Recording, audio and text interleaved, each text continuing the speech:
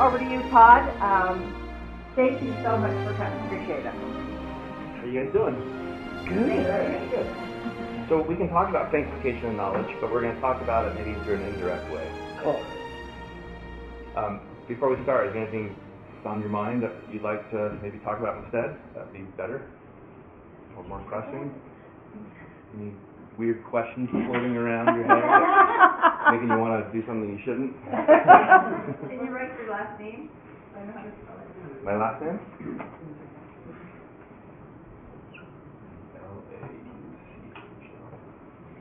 Can you interpret that now with the thrust in the back? M C L A U C H L I N? That was not a very good marker, is it? Now it gets erased. well, there's some more down there too. Yeah, go ahead and erase it. That good? Alright. I used to spell it with a G, and then I. Yeah. Lockwood. That's the common way of spelling it. Yeah. Not Lachlan, Lock. Lachlan. Say it again. Lachlan. Lachlan. Lockador. Yeah. So, uh, nothing's on your mind at all? Any questions that's pressing that we can weave in, maybe? Give us one. What's the most, what's the most critical one? Mute your phone. Nothing along with sanctification, Okay, just how do we reach that change within ourselves, because it's not by our own work. I Okay. remember last time you came and spoke, it was offer up a sacrifice. mm-hmm, Lord, what do you want me to do? mm-hmm, Follow through with that, and then comes the gift, but, yeah. Okay. Okay. yeah. How do we become changed? Okay, we'll talk about that. Also, you teach us patterns. So help us with the patterns on how to, to, to pierce the veil in this life. Okay. Okay. My husband's in heaven, and I'm interested because through the gift of discernment and hearing him, he talked about sanctification. Mm-hmm. And I thought, oh, you're talking about this, so I'm Mhm. so excited to hear what does that mean? What are the ramifications? What is why is that so important? That that would be one of the messages that he felt so important that the Lord and the process of sanctification is so pertinent. Okay. Okay. I'm calculating in my head.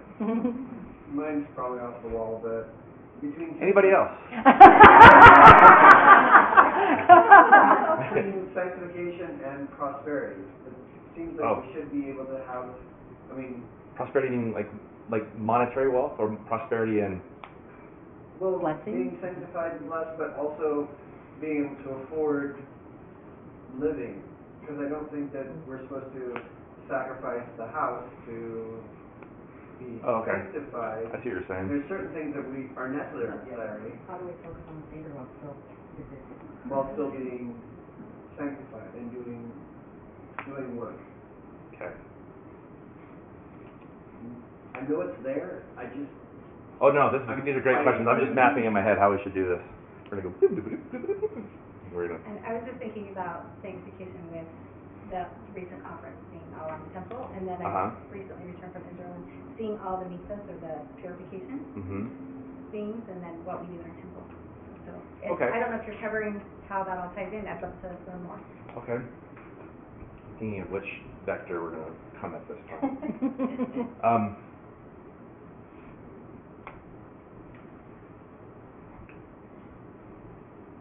there's two different ways of approaching this that I think we can do. And if you don't mind, what we'll do is we'll actually, we'll drive towards all these answers through a path that may not look direct, but it's going to lay, a, I think, a foundation for it. That's okay?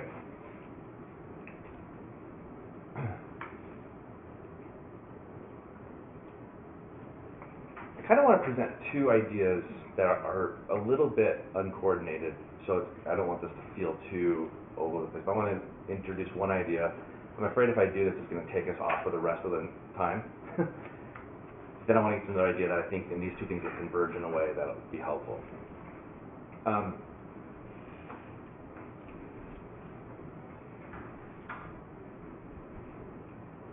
there's the gospel is sort of like if you're the more you learn, I'm sure this is your experience, the more you learn, the more you realize that principles can have incredible depth and incredible simplicity, right? And it's when you kind of capture, when you can kind of see how both the simplicity and the simpleness and the depth, that's when you kind of know you're you're getting comprehension into a principle, right? So what I want to do is is take something that has incredible depth and start to collapse it into something very very simple that you can use to do some of these things that we want to do. So call it like the Wednesday morning rule. Like, what do you do on a Wednesday morning? Like, sure, this is great to learn, but how does this affect me tomorrow morning when I get up in the morning and what do I do? So, ah, I'm so hesitant to start this because I don't want to do this a lot, but I want to I want to lay this out and then we'll get into something else. You can think about possibly let's call this like our progress, our progress, ascension, growing, increasing, becoming more godlike, whatever you want to, however you want to think about this. Let's let's call this just going up, okay? And I think everybody here, or most people here, will probably think in, think of this in terms of um, like something like sanctification, justification, sanctification, calling election made sure, sealing, that sort of route of going, increasing in your progression, right? And so, one way to think about this is that that whole process of sanctification, everything is really can be distilled down to one single thing. Okay? So this isn't going to make probably sense yet, but I want to kind of lay out what I want to get to. And if you understand that one single thing, this whole thing becomes really focused. And really, really complicated, hard things that feels like we're trying to go for and get become really, really focused on a Wednesday morning. Okay? So let me see if we can lay this out. So let's talk about um, justification, sanctification, and sealing.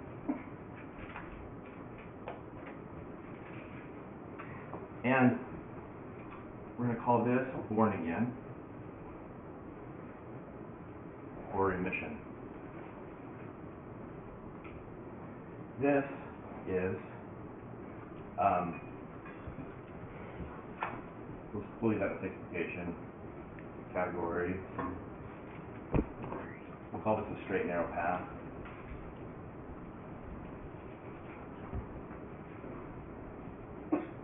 And this are the various sealings that we get from ourselves to our marriages Zion. Okay. So justification, like this is half of the half of our learning. You know, we've talked about in the past here, like half of our learning is sort of like unlearning, or like I found myself like 90% of my learning is unlearning something I believe to be true that has to get unwound in order for the true thing to sort of like take root and go.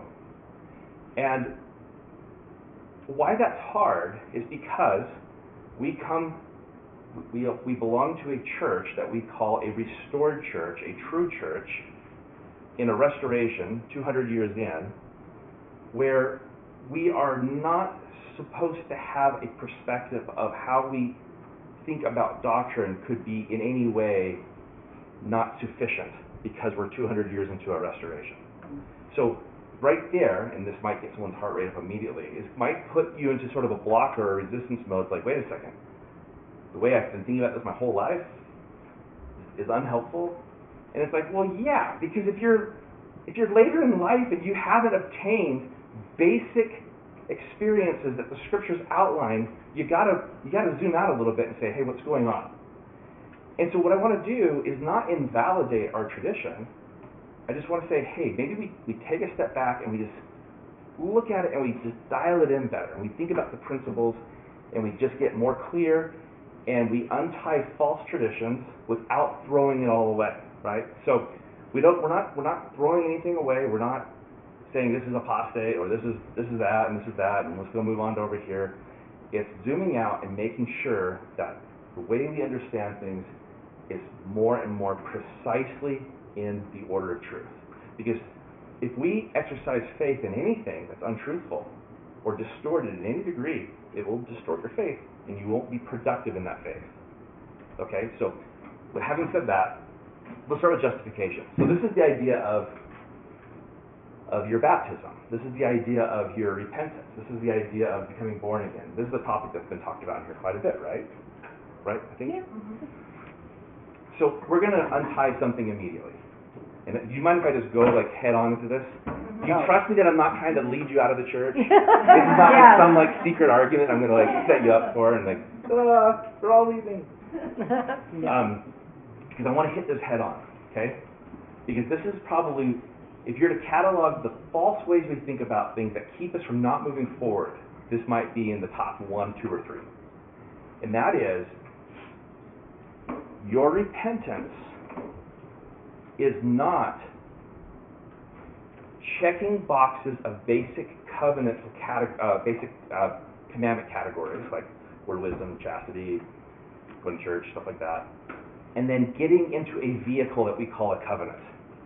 So we think of covenants like vehicles, right? Like I'm gonna I'm gonna I'm gonna make a covenant, and I'm gonna get in this car, or I'm gonna get in this train, or I'm gonna get in this boat, and because I made this quote unquote covenant and I signed on the dotted line, that suddenly that con- that covenant that I just signed or that car I just got in is going to take me to the celestial kingdom and to my eternal family, right? And then how I stay in that car or in that vehicle is I just do my best daily to not be as crappy of a person as I was the day before and build more faithful. And it's like this 1% better. And if I'm just continually in this improvement form, then this vehicle will work and take me to the celestial kingdom. None of this is true. None of it. It's not a thing. It doesn't exist. It, not only that, it's so untrue that if you really believe it, it will keep you from going to the celestial kingdom. That's the unlearning part, right? That's the unlearning part. Spiritual of the Father. Because That's what we've been taught. yes, and remember in D&C 93, uh, 39, the evil one taketh away light and truth through disobedience and from the traditions of our fathers. Okay? Now, it doesn't mean that covenants are bad, or baptism's bad, or repentance. We just gotta rethink it, okay? This I don't wanna do this because it's not how it works. Okay, no, we gotta do this. Okay, so, let's talk about what the true thing is. The true thing is something like it's pretty rare in the scriptures that the, they say repent of a certain sin. Like sometimes in certain stories they'll say you need to repent of this or that. But repentance scripturally, and we'll, we'll let's just talk about uh, from a scriptural perspective of how this works. When when it talks about repentance in the scriptures, it is not a micro thing; it's a macro thing. So it's like you repent when your entire mind and heart and your being and the purpose of your life and your energy and all that you are is oriented completely to God. Now you may have a real rough conception of God, and that's what I, that's the thing I want to talk about. But it, and it's not only oriented; it's oriented in the sense of, and this is kind of one of the questions that can be asked to see how oriented is it. What am I willing to let go of and do in order to follow God with all that I have? And asking those types of questions will determine the level of sacrifice that you're in that will put you into communion or connection to God. Now, God is very, very gracious. And so he says things like, um, I think it's in D&C 45 where he says, remember, um, the gift of the Holy Ghost is like the primary gift of God. So when he talks about the gifts of the Spirit, the gift of the Holy Ghost is like the primary one, right? He says, I give it to those who keep my commandments and to those who seek so to do. Okay, so this is a really gracious insight in the scriptures, which is something like our idea of perfection is really a Greek perfection idea, which is sort of a mathematical, like everything has to add up, and then the you know everything has to be this sort of perfect structural thing, and it's a, it's very behavioral, right? Our our idea of perfection is a behavior perfection. it's a very Greek concept. It's not really what our scriptural language is Hebrew, and so you have to really um, kind of make that transition from a Greek way of looking at things, a Western, to a, a very Hebrew way. And the Hebrew way is this orientation through sacrifice. So this goes to this brother's. What's your name? Um, your, sacri- your sacrifice question, right? So sacrifices. Boy, I want to get to part one of the answer your question, then we'll do part two at the very end. Okay? Sacrifices can also become a stumbling block because, and I'm not sure this is quite you're getting at, but it's kind of a little bit of the spirit of I think what you were kind of touching on when I was listening to your question, is like, okay, then we become like ascetics. We become like monks. Like, okay, if I'm going to follow God, I just have to like strip my rip my clothes off and sell my house and go lay in the dirt and just just just just do snowflake, snowmen in the dirt, you know. And it's not it, um, because that's, that can also be just as much of a traditional deterrent of following God as um, other things. So, so when, we, when he says repent, because he says in two different places, in D&C 10 he says, "My church are those." Um, okay, I'm not getting the verse right. But my church are those who've repented. The church of Christ is those who have repented. Well, those who have repented, aren't we supposed to be repenting daily? Yeah, you are, but that's a kind of a different way of thinking about it. The thing is, is like you haven't repented unless you've repented of all your sins. This isn't like a let's kind of keep a catalog and work on my weaknesses, and we're just going to try to kind of make awesome goals. Um, and it's not a bad thing, but it's not the thing that does it. It's not the thing that brings you into into covenant. Okay. Like obviously anything you're doing that's pushing towards light is going to be good, but this is more like how do I really get light instead of like in the twilight of light and darkness and huffing along and barely, you know, just trying to hold on. Okay, so repentance in the scriptures, if you really go back and look at it, this is why most of the scriptural examples of, repentance, in, um, they get like kind of miraculous experiences and um, of change, of transformation, right? And one of our false traditions that has been propagated, and I don't if you don't mind I'm talking this bluntly, because I'm, I'm probably a few people support the church more than I do. So when I do this, I do this with charity and like with the intent for like let's let's move forward and strengthen the church through true principles. Um, the other um, false tradition is something like the scriptures are a record of the outliers of miracles that are supposed to be like the big events that happen over hundreds of years that kind of get us excited, but they're not for the everyday member of the church that's supposed to be living quietly and humbly. I think the scriptures aren't humble, right? You get that like, what about the normal humble Latter Day Saint? You're like, you don't think Alma the Younger like went through a form of humility? Anyways, I'll start soapboxing on this weird way we think about it. The scriptures are the patterns; they're not the outliers. They're the patterns. And when we start calling them outliers, it, it really does foment a spirit of disbelief in the scriptures and uninterest. Mm-hmm. Right? Why should I just go read about King Benjamin's people? They all get a fall on the ground, or they all, you know, and have this big transformational experience. But for me, I just have to do my best, one percent every day, just one percenting it, and hopefully by the time I'm 90 and doing genealogy work in the temple, something happens, you know, or I, I feel a little bit better. I don't know. I'm a little cynical, but okay. So you you repent in in the pattern of the scripture. Who said patterns earlier? Yeah, patterns. So I got you, okay? Oh, so yeah. So go look in the scriptures and mind the patterns, and, and don't look at them as outliers. They're not the special examples. They're the, they're the patterns. But also be careful. That doesn't necessarily mean you're going to fall to the earth for three days and pass out. When you're born again, you have to look at what the really thrive into what that pattern is. And let me give a little hint on that particular pattern, the three days. If you're really wicked and you're like on the verge of perdition, which Alma the Younger was, and you repent, you might pass out for three days because the transformation delta is a little is significant. But if you're like most people who are like in the church, really seeking and doing your best, and then you finally say one day, you know, I'm all in. I'm going all in, and I'm going to just break my heart with the Lord. You know, you, you may not, you may not hear rustling robes, because that's not the actual pattern. The pattern is, is that you manifest the fullness of the fruits of the Spirit within you, and you lose the desire for sin, and you have the gift of the Holy Ghost, and the, and the, and the gifts of the Holy Ghost within you begin to manifest, whether in all the different forms. Okay? So, justification is this complete repentant orientation. Okay?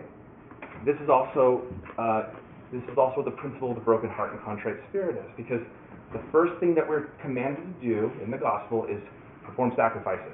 It starts with Adam. Adam's the first thing he's told to do. All of existence, all of all structure of reality, all everything in the gospel that builds is on the singular principle of sacrifice. Sacrifice is the building principle of all of existence. From digging a ditch, to lay plumbing pipe in your front yard, to creating a world, to celestial marriage, everything is based on sacrifice. Okay? Learning, learning the sacrifices associated with what's going to happen. Okay, just stop. Yeah. Sacrifice is the building what? Is the building principle, the fundamental principle of all hierarchical existence. You served your mission in Japan, right? Yeah, uh-huh. So that's where I served mine in Japan. That's cool. where we, we understand sacrifice a little bit Oh, for sons in Japan. Because Cool. those people understand the law of sacrifice. yeah.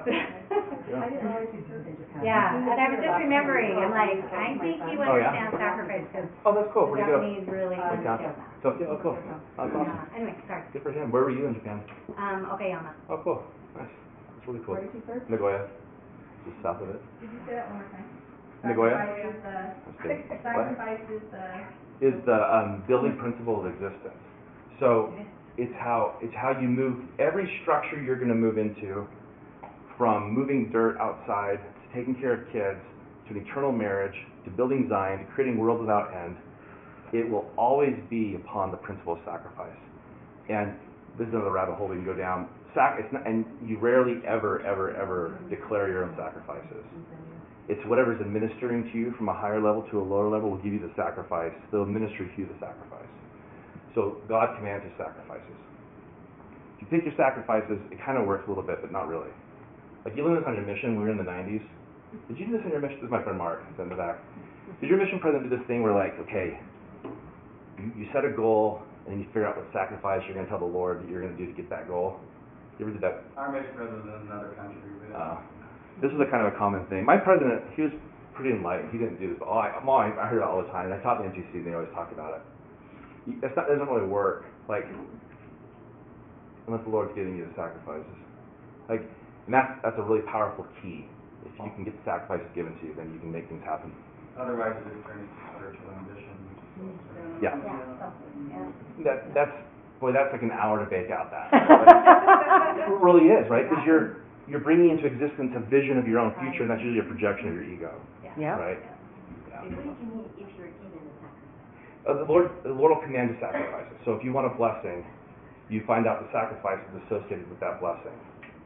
Um, who mentioned veil? Did you mention veil? Uh, rending the veil? yeah. Yeah. Yeah, the, the pattern, the pattern, what, what is the pattern that we need to, to render that veil?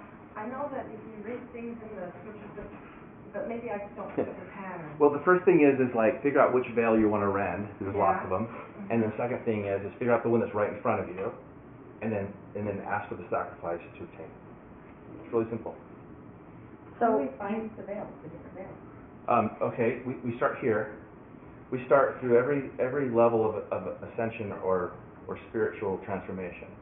It's a way to think about it. So go to Moses six is a good place that we can start here. Um, this is think about straight narrow path. Okay, think about Lehi's dream. Lehi's dream is a great place to start, like figuring out where veils are. So the first veil you can kind of look at. If you look at the whole story, is Laman and Lemuel saying to Nephi, the Lord makes no such thing known unto us. Right? He's like arguing with Nephi, and Nephi's like, Well, you inquire? Where's the veil? We found a veil, right? Veil number one. God doesn't talk to me. Oh, they're unbelief. yeah. Oh yeah, veils are always Veil of unbelief. unbelief, It- it's Uh-huh. belief that you show them Yeah, is. veils are always a veil. I shouldn't say always, because I know that. I think a lot of times you can look at a veil almost, at least from my understanding, veils are always unbeliefs. the veil of unbelief. we go through the veil, hmm plain, plain. So in the temple veil, what's right next to it? What sits right in front of the temple veil? You know, The altar. So you do sac- sacrifices are always how you run veils. Don't want to go into it right now, but think in shorter of prayer. Think and start to identify where the sacrifices are in that. Okay? Because it's a sacrificial ceremony in one way of looking at it. So just let that marinate. Okay? That's okay. So you said to receive a blessing, you must have a sacrifice. Yeah. Okay. So A what- trial, uh, uh, Yeah, so like let's let's like let's take the idea of sacrifice because again, this is where our tradition starts to box us in and allow allow the idea of sacrifice to become much more um, just be open to all the ways that sacrifices happen. So like one sacrifice is is hey God didn't tell me about this stuff like Laman and Lemuel and Nephi's what do you inquired? Okay, well what's the sacrifice offered up to get an answer to a prayer? Well, what does Moroni 10, 3 through 5 say? Do you have real intent? yeah, okay, Do you listen to your heart? gotcha. If God tells you the answer, do you want to obey what He's about to tell you? That's a sacrifice. Because He won't tell you if you're not if you don't want to obey. That's another thing. Do you want an answer to a question, do you want to obey the answer? And you better you have to do that first mm-hmm. because you otherwise He won't open up to you. Aren't we invited to sacrifice all the time? I mean, I feel like the Spirit is always inviting me to change this or move forward in this or inquire more about this. Even on the way over here, I was doing a voice memo. Okay, this summer I'm claiming this, this, and this because the Spirit's been inviting me to do it and I haven't done it yet. Like, Yeah, aren't we continually being It invited? should be every day. You should. This is the this is the the the posture and the like uh, disposition of always being in a state of a broken heart and a contrite spirit. So oh, broke. Always searching, is that what that? Yeah, you, Asking? Yeah, so let's build this out a little bit in context of what you're saying, okay? So, justification, I'm not avoiding, I really want to, I'm answering it through this, okay? So, we talk about being born again a lot. A lot of people in like-minded communities and friends in the church, this is a the big, big question. How do you become born again? How do you get the mighty change of heart, right? It's a, it's a, it's a perennial question. The answer is broken heart, a contrite spirit, which is the sacrifice of the desires of your heart. Um, the sacrifices of you willing to, to, to do anything, to give up anything in order to. It's the King Lamoni, King Lamoni, um, The kingdom, of- yeah, who's like, I'll give up all my kingdom to know, you know, Ammon says there's a God. Is that the same story? Yeah, Yeah, right? yeah, it is. Right. It, like it wires crossing my head. Ammon says there's a God. If there's a God, I'll give up my kingdom. And all of a sudden, boom, he's born again, right? Because that was a legitimate thing he felt. Like, he's like, I'm not going to hold on to this kingdom. I'll give up all that I have. And that is, that's the key. That's the key. And if you, and if you don't feel in your heart that you can, step back. Because the Lord says, I'll work with you in that. Because this is, so this is Alma 32, and he says, you can't believe? Well, do you have a desire to believe? Can you even find a little desire to plant the seed? You see how, see how like gracious the Lord is in this process? Let's say you, you, I can't even bring myself to give a broken heart. Okay, well, do you have a desire to have a broken heart? Let's start with that. Let's plant that. Let's let that marinate. Let's feed that light. Let's give that ground to bury in, right? And let that grow. And then you grow into a place where you can let go and you can let go and you can let go and you trust the Lord. The Spirit can come into you and soften your heart because the Spirit is always the softening agent. Right? You can't even break your own heart, which is really weird to think. You can't even break your own heart by taking thought. No man by taking thought can add one cubit to his stature, right? So I'm talking fast, but like I just want to like get into territory. So uh, if you want to reference on that, Second Nephi two is really good. This is where Ne- this is where Nephi says he's you want to know what his father had seen in the dream, and he says, and the Lord did the Lord did visit me and soften my heart so I could believe all the words of my father. How powerful is that? Like you can if you don't have a soft heart, you don't have a broken heart, you can ask the Lord, say, Will you soften my heart? And lean into it. I always put the um, the conditional statement in my prayers. I want to do this by my own free will and choice because sometimes you're like, you know, soften my heart. Give me some faith. And a train hits you out of nowhere, right? Like you just get clobbered. I like the idea like, I'm gonna pursue this by my own free will and choice and please don't Not compelled? don't just compel me. It, it's okay if you need to, but let's just try to do this by leaning into it, right? Okay, so justification is the condition of your spirit coming into communion with the Spirit of the Lord. Justification, scriptures have some like economic um, metaphors, and we use a lot of meta, economic, like balance the balance sheet, and God has like this sheet of do's and don'ts, and you have to like balance it right to get the law, the legal thing right. And it's okay, obviously it's scriptural, but like it's okay to kind of think in terms of that, but it's actually kind of a thing that you have to kind of move past in that in thinking about justification. Because that can really kind of catch you up, and you make it makes God feel really overly weirdly legalistic in how the universe is run, right? So justification. Let me let me suggest something really fast and see if this if this sticks with you. Okay. Uh, if you're building this house, well, um, I built a uh, I built a fireplace in my backyard out of brick, out of a cinder block. A big one. It's like 10 feet tall, maybe 9 feet tall. Um, I had no business doing it, but with YouTube, all things can be done. and it's, it's pretty big. Like, it's, it's pretty. It's, it was way more ambitious than I had talent or capacity to do. So I'd like build like up to here, and this thing would be like leaning, right? Because I don't know anything when I'm doing masonry work. I, it's a huge learning curve. Like, ah, crap, I gotta take this thing down. So I rip it all down and put it back up. And my wife is like, oh man, is this thing ever gonna get done? Um, but I'm learning all these lessons. Masonry. Put that anyway. Yeah. Okay. So masonry, um, bringing that back into a justified structure because it's not it's unjustified. It's leaning, right? So you're bringing it into a justified form. So it's it's it's square. It's it's in its proper form, right? Your spirit has an eternal proper form to it. And when you come into this body, you're born into this world, and you know the seeds of death take hold, and you move into distorted structure in your spirit, and you justification is when your spirit comes into a an alignment with the spirit of the Lord, and you're in communion, or you're in. Um, oh, thanks. You read my mind. Um, like that guy talks too fast. He needs like just drink some water. Uh, so justification is when your spirit comes into an alignment with the spirit of the Lord. Okay, that's maybe just one putting that fireplace into an alignment. Okay, I'm going to suggest something. This might be a false doctrine, so at some point you're like, he was so didn't know he was talking about, throw it away. But I'm going to suggest this to you. I think this is true. Okay, this is the only thing you ever have to worry about, ever, is that singular thing, which makes this great. Because let's draw like, well, sorry. Let me explain what this is real quick, and then we can draw something once you're justified, you're in the gate, so to speak, in the doctrine of Christ. Okay, you're on the straight and narrow path. Why is it straight and narrow? Because you're in a justified state. Okay, your spirit is in a sanctified state or a justified state. Let's that word. When, so you're on the path, and this is like when Nephi is saying, once you're in the gate, you're asking, what should we do? And he says, the Holy Ghost will te- tell you all things what you should do. Right? This is Second Nephi, like 31 and 32, and he's kind of frustrated. I think with Laman and Lemuel, to keep asking. Um, when you're in this, when you have this justified justified condition, scriptures also call that the remission of sins. That's when you have the full remission of your sins. Okay? But it comes after the repentance. And the repentance is holistic. You're repenting of all your sins. And then mercy applies. Yeah, and the mercy kicks in when your whole heart kicks in. That's, what, that's where the grace comes from.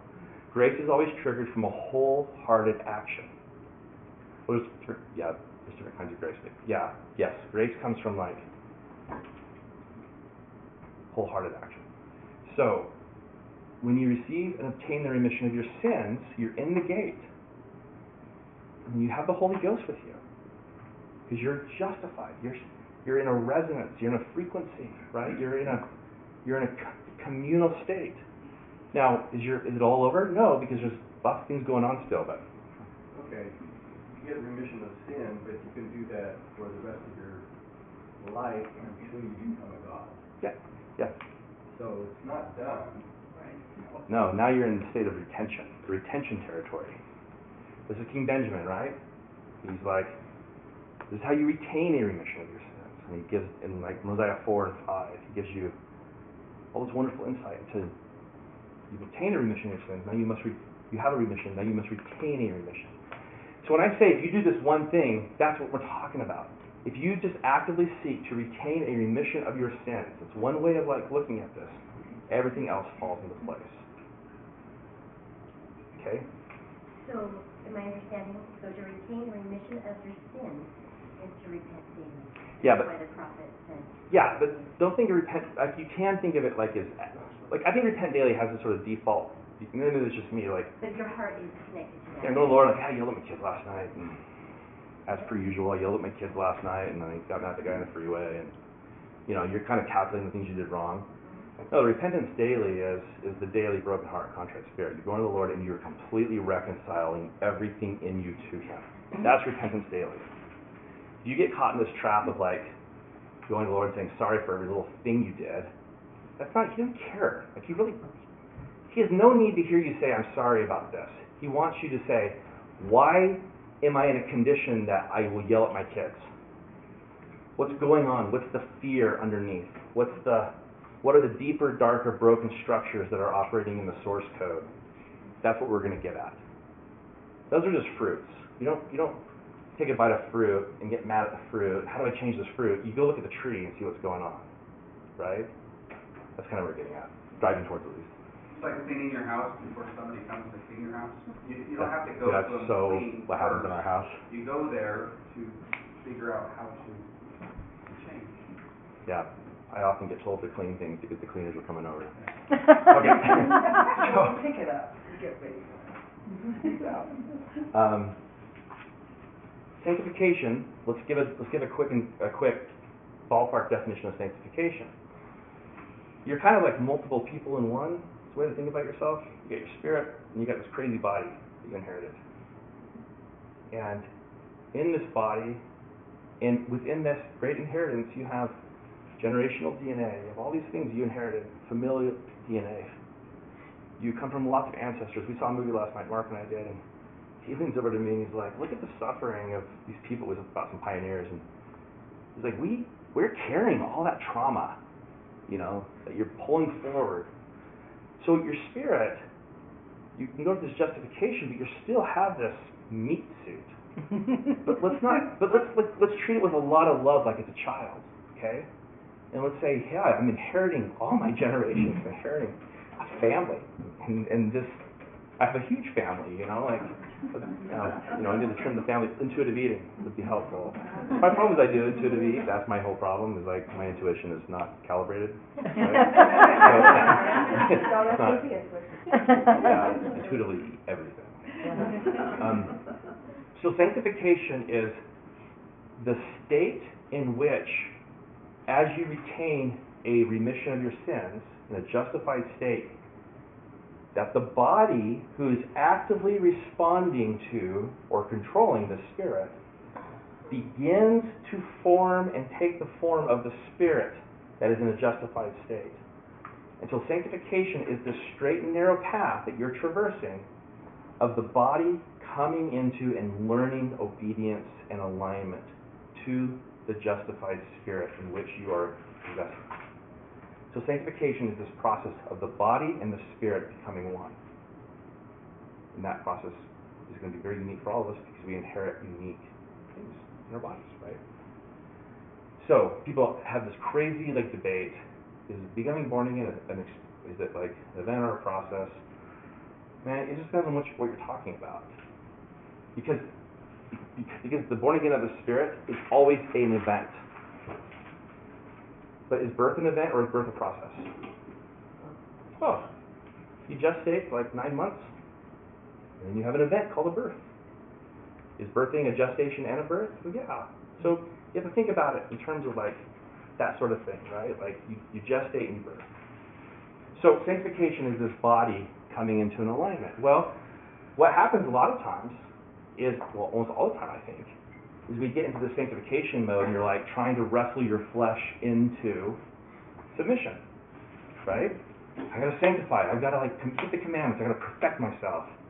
You know, it's like this idea that like we can't perfect ourselves here, but when we die, we have forever to learn how to perfect ourselves.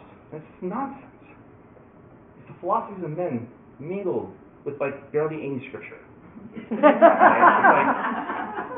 It's like one percent to ninety nine percent. Okay? It's nonsense. The perfection is, is when you're in a state of justification and you're and the Lord forgives you remission of your sins, and then He's going to take you through a process of, of retaining it and allowing that sanctification to take, take its, take its path, okay? And then So these, would that be correct, say justification is the spirit's perfection, sanctification is the body's perfection? I, yeah, I'm, hmm. we've all been learning long enough to know that we want to be really careful how we, like, box in certain ideas, because I find out you have to kind of break those a lot. But I think if you can hold, loosely hold that, I think that's, I think, from my own understanding, that approximates, I think, what's happening. I think so. So, when the Lord says, be perfect, even as I am perfect, that's a tall order because he's talking about perfection in a lot of different dimensions. Okay? This is a state of perfection. When you finish your sanctification, that's a state of perfection. When you paint a ceiling, that's a state of perfection. Right? Because what you're doing is you're increasing in levels of wholeness and, and you're increasing in levels of redemption. Because as you go through this, as soon as this happens, then everything becomes very outward. And this is how you know you're in the gospel of Jesus Christ, is that you become very outward in the sense of you, you begin to, your heart turns towards other things to help them come to Christ. The first thing is your body. You're, you're becoming outward towards your body. You're starting to love it and, and invite it to the principles of the priesthood. So read, read D&C 121 if you want to know the principle of how to bring your flesh into subjection. Look at it through that lens. You want your children to start to hear the gospel. You want your wife and your, your spouse to, to bond to you. You want your uh, family and your ward and whatever, right? This, these are the levels of redemption. So Joseph Smith taught that um, to become saved, you're saving others. That's a way to sum- like to um, yeah, you're you're you're in a state of being saved when you're actively trying to save others. And saving others means you're you're loving them, you're inviting them through love and, and attention and sacrifice to, to gather them. Okay, and this is how Zion gets built, right? So one thing becomes all things. So if you're wrestling with your flesh, you go to the Lord and you say, okay, I need to reconcile my spirit to the spirit of the Lord. And you reconcile that spirit to the spirit of the Lord. And that reconciliation will have an indirect effect on your body. So, let me make one more point and we can kind of move on from this. Um, what happens in the sanctification state, um, Joseph said, with, you know, in the restoration um, and in the in the um, the kingdom of God coming forth, he says, we will have commandments, not a few, which is a glorious thing, right? We'll have commandments, not a few, because what happens is you come into this structure like you have a remission of your sins, and then the Lord says, okay, here's your next commandment. And when He gives you another commandment, and these are going to be uh, structured in the church because you're going to have things like chastity and, and consecration. If you think in terms of the endowment, I'm sorry I'm talking so fast, that I feel like I have to go fast. Is that okay? Yeah. Okay, so endowment, um, initiatory, where you're invited into all of this. You come into celestial, right? Celestial portion is this. Okay? When you cross over to the terrestrial portion, you're crossing into this. The terrestrial portion of the endowment is the straight and narrow path. Okay?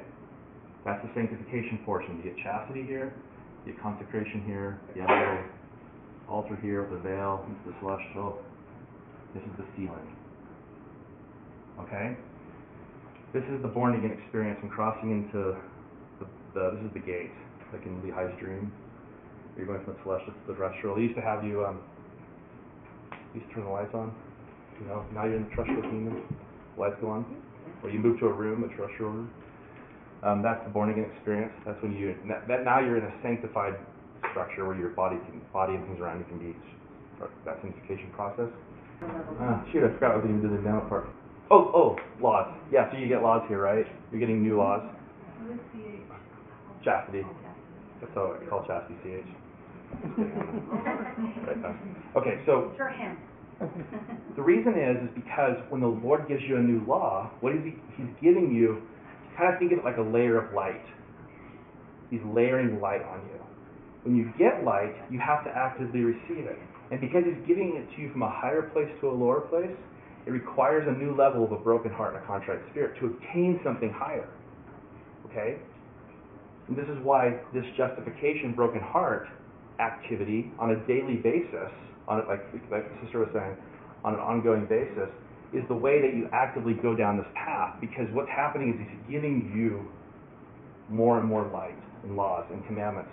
So this is why in like 88 um, he says, "Then you shall live by every word that proceeds from the mouth of God." That's that's part of this. You have the gift of the Holy Ghost. shorthand. What? Under sanctification, straight, narrow, name, what is the last word? Right here, No, on, under sanctification. Consecration. right here. No, sanctification, the next one. Okay, what's the last key word? No, uh, straight narrow path. Path, okay, and then the first one under sealing is, Here. yeah, Uh, I don't know. something married Zion. Ourselves. Okay, thank Yeah. you. Okay, we were just trying to. Hieroglyphics. And we can as to writing, Yeah, it's okay. I'm trying to understand the short language. but they shall mock at my words. No, and it's we- fine. And weaken to writing. And they No, will- that actually making me The me, Gentiles will mock. trying to understand it, make me clear memory now, so. Great. There you go. It was purposeful. Yeah. Okay. Um, so you get more and more words of the Lord. The Lord will give you more and more, and this is why you're an ongoing um, sanctified process. He will reveal Himself through His commandments, and so you have, to, if you're actively pursuing this broken heart and contrite spirit, this active sacrifice in a continual way, the Lord will keep giving you more and more light.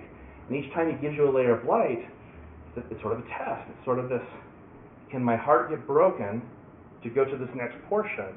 And This is why you're in a constant state of sacrifice. So this is to your point back here. Well, I have to give up my house? I don't know. Did the Lord tell you? Maybe it's a weird commandment. He's like, go buy that house. And you're like, uh, that's more than I need. And he's like, yeah. And you're like, is this me giving myself a revelation? Go on that house. You know what I mean? This is why you have to be in this state all the time. Because people have this all, this other continual question of like, was it me or my is it me giving me a revelation or is it my uh, the Lord, right? Do I desire that for myself, or is Yeah, it for you have this kind of wrestle. have that so I can help more people? Yeah, so this is why you always back out of it and you go back to here. And you continually retain a remission of your sins, you will grow in a perceptivity of the Spirit of the Lord. You will recognize His voice. And that's actually part of this whole path, is being able to recognize His voice in more and more precise and intimate ways. Because part of this path is overcoming all of the deceptions and counterfeits that you have to overcome at every level. You have to overcome them. And when you when you're going up the mount of the Lord, here's you going up the mount of the Lord, here's the Lord. Here's your deceptions and your counterfeits. They're going this way and you're going this way. The space between these gets shorter and shorter and shorter. Which means it's harder and harder to tell the distinction between the counterfeit and the real thing. Mm. Okay? And this is why you have to become more and more conversant in the Spirit of the Lord so you can perceive counterfeit distinctions because they're everywhere.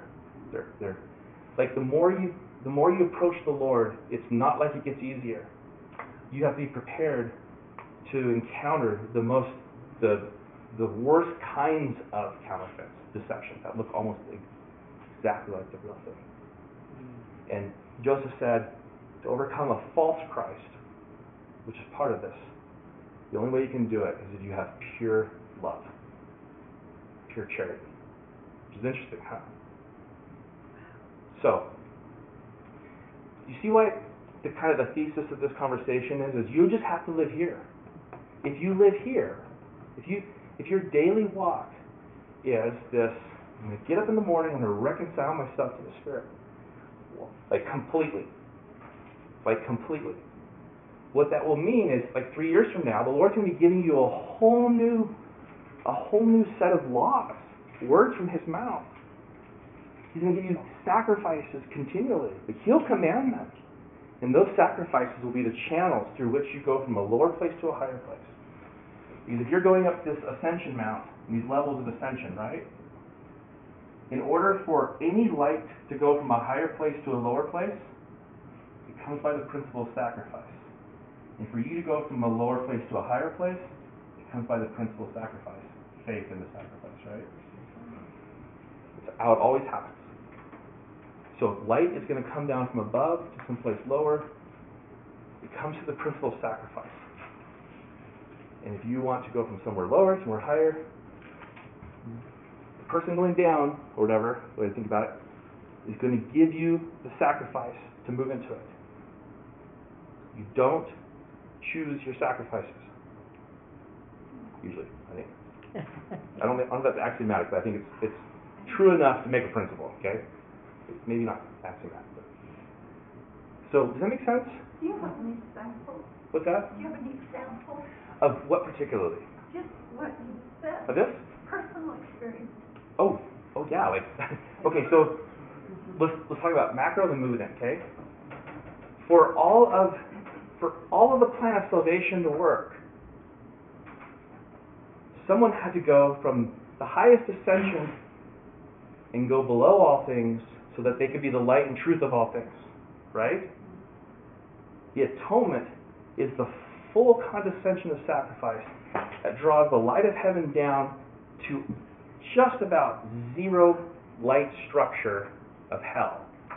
So that anything down at the lowest can begin to respond and sacrifice into something higher. Okay, and that's how you go up. The Lord has a, cas- a cascade of hierarchy of beings who are seeking Him. And as the way they seek Him is, how do you get saved? You save others. By the way they seek Him is by performing sacrifices downward. And so there's constant there's a constant order of sacrifice downward in order to go upward. It's like uh, chiasm, and, and like when he's Yeah. he's washing their feet and showing service of sacrifice. Yeah, it's a priest of chiasmus. Yeah. Don't think it and think of priesthood as like a broader structure of men and women. Okay, so um, yeah, the first should be last, the last should be first. It's a priesthood chiasmus. The first should be last, then the last should be first. He who is greatest shall be the least. Right? This is D&C 50. It is appointed all it is appointed to them to be the greatest. Nonetheless, they should be the, the least and the servant of all. Right? And they'll be the possessor of all things. Okay, so so track these. So this is in D&C 50. So track this. So he's talking about priesthood. You should know the darkness that you may you you should know the light that you may chase darkness from among you. And you shall be a possessor of all things, both the light and the life, the spirit and the power of Jesus Christ. And whosoever whosoever have a possessor of all things, no man is possessor of all things unless he be purified from all sin. Oh. You see this? It's right here. Twenty-eight, yeah. Can you read it? Um, but no man is possessor of all things except he be purified and cleansed from all sin. Yeah. That's So- what he says. Yep. Not the D&C one? Fifty, twenty-eight, twenty-nine, and if ye are purified and cleansed from all sin, ye shall ask whatsoever ye will in the name of Jesus, and it shall be done. Yep. So, So, see it. once again, we come back to this singular point. If you focus just on this, you're going to be fine. It's sufficient. Think of think in terms of um, uh, sufficient, sufficient is the day of evil thereof. What is that? Oh, sufficient is the day of evil thereof. Yeah, like like.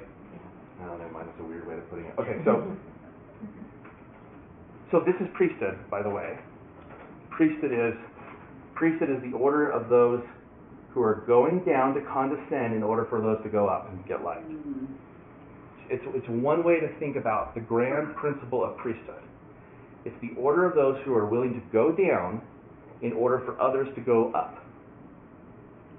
Think about you in the birthing room when you had your kids. Mm-hmm. You're going down into the death in order for you to bring forth life mm-hmm. a true priesthood on the male portion, on the male side, will it's it's it's the posture of John. It's it's it's John. Um, I will decrease so that he will increase. Right? Um, I'm not worthy to latch at his shoes, something like that. Um, you perform sacrifices to draw other people into Christ. That's, that's the principle of priesthood. You're drawing light down through sacrifice, and you're going up through sacrifice. It's this, it's this constant move this way, up and down. You go down to go up, and you go up to go down. It's this. There, and this is where you get eternal rounds and stuff. so, um, so your question about sacrifice. I don't know. Should we say your house? Just go back to here. Work. Get this first. Get a clarity when your sacrifice is given to you, or the commandments given to you, whatever you want, however you want to call that. You I can say, You move forward. But the justification is what gives you the confidence that's coming from the Lord.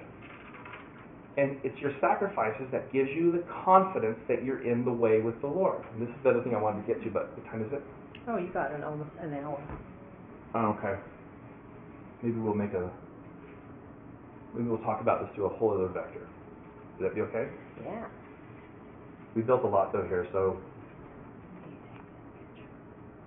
Todd, what does sacrifice gives you confidence do, did you just say? okay. So your faith in the Lord is one way. Of, one way of thinking about it, and it's, a, it's sort of a primary core way. Your faith in the Lord will always be a function of your knowledge of your standing with Him.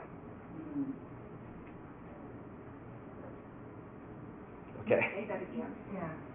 Your faith in the Lord will always be a function of a knowledge of your st- of the standing you have with Him. Okay. So you know who you are. You, you come You know who you are in relationship In to Him because you can be pretty bad. Yeah, well, I meant, in. Yeah. Right. Yeah. So, can we erase this? Yeah. Um, any other thing in terms of this? Because I don't want to.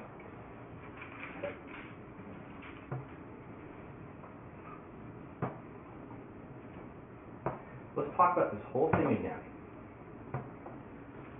Let's talk about it through a completely different lens.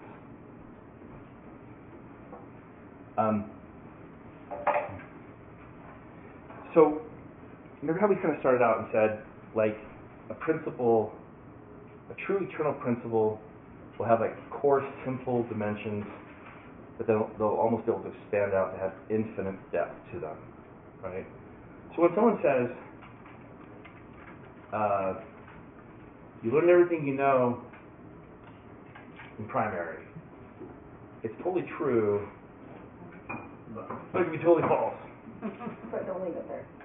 Well, yeah, because like, because yeah, everything is given to you. The fundamentals of existence of eternity are given to you in primary.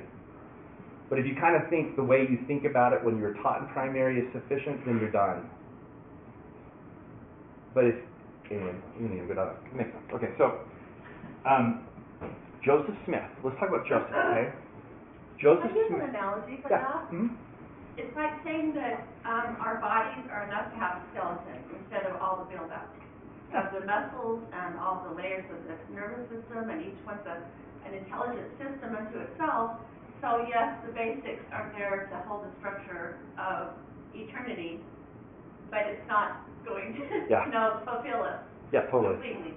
Yeah. Well, it's, it's right now, my son's a missionary, and they're just teaching the basics, but it's, it's, once they become a member and they want to search and understand, they can even buy a Preach My Gospel or, or go on app Yeah, and- like if you teach the basics right, it works. If you teach the basics in a crappy way, then they Yeah. get stuck real fast. and the whole tradition, Well, that's right? it, the whole tradition, yeah. Yeah. Mm-hmm. So, so Joseph, I'm going to make a case for something for you, and I hope I hope this will awaken something in you that you'll go do. Okay? I'm just going to tell you my intention up front. The intention is I want, I hope, I invite to you at the appropriate time in your life, whether today or in 10 years, to go get lectures on faith and incorporate it into your scripture study as a scripture. Okay? Because it is. So, uh, some of you might know this, some of you may not. When we say doctrine and covenants, okay, the doctrine of the Doctrine and Covenants, there's a part one and a part two. Okay? What we have in our Doctrine and Covenants today, when you go to Deseret Book and you buy it, you get on LDS Tools and you read your D&C, you're just reading part two. Okay? Because they took out the lectures of faith. Part one doctrine is the lectures on faith. Used to be there. Okay? Mhm. And as missionaries, they're supposed to study it. Are they? Uh, Yeah, the five books, you know, they still have Talmage, Jesus the Christ. They put lectures on faith in that? of faith, Oh, yeah, they? That's awesome. I'm glad to hear that. which is good. Yeah, 'cause I don't think it's even like in the library. I Yeah. don't think they even, anyway. So, Lectures of Faith is the doctrinal portion of the Doctrine and Covenants. That's why, with confidence, I invite you to go put it in your scriptures and read it as that. Okay? Why they took it out is a whole other discussion I don't care to wade into unless you really want to get into it, but I don't think we need to. There's, there's better things to talk about first, okay? So, why is Lectures of Faith the doctrine? I'm gonna, I'm gonna, hopefully, if you'll, if you'll, if you'll bear with me or, or um, trust me a little bit, well, not trust me, but just let me, I want to make a case to you, and if it resonates, wonderful. If it doesn't, it's fine. So, my case is that Joseph Smith saw the principle of faith as containing in that principle everything you will ever need to know and do in eternity. All doctrine is centered in this singular principle. You learn this, you learn everything. Okay? He, he, he says it. Up my phone and start reading to you.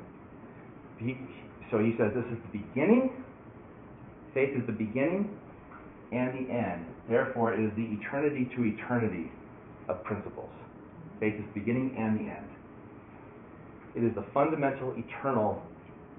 Uh, he said it was, it's the fundamental principle of power in existence, in reality. Okay, is faith. So if we learn the principle of faith, we will learn everything else. Everything's contained in it. So everything we just did about justification, sanctification, sealing, doing your calling election, make sure, rending veils, your sacrifices, your, your ongoing sacrifices, everything's contained in this singular principle. You learn lectures of faith. Joseph explains structurally why in lectures. Why it's a critical, I think it's probably, There's seven lectures too. yeah, yeah, there's seven lectures. Mm-hmm. Okay? And what he does is he starts with the question of what is faith, and he ends with how do you be saved? How are you saved? Answering that question. What is faith, and how are you saved?